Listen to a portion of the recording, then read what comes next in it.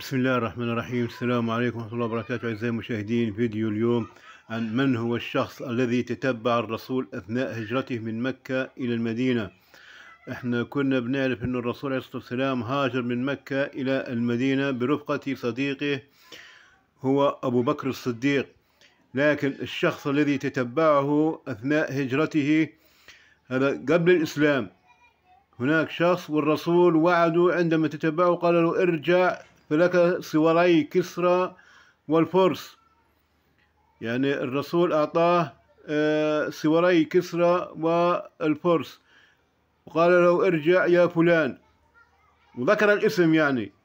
اكتبوا لي في التعليقات من هو الذي هذا الشخص الذي تتبع آه، الرسول عليه الصلاة والسلام أثناء هجرته من مكة إلى المدينة.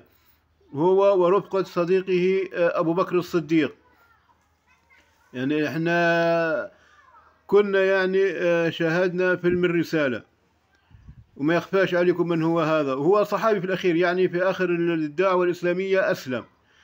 اكتبوا في التعليقات من هو هذا الشخص الذي تتبع الرسول عليه الصلاة والسلام أثناء هجرته من مكة إلى المدينة.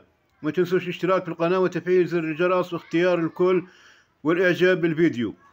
والسلام عليكم ورحمة الله وبركاته.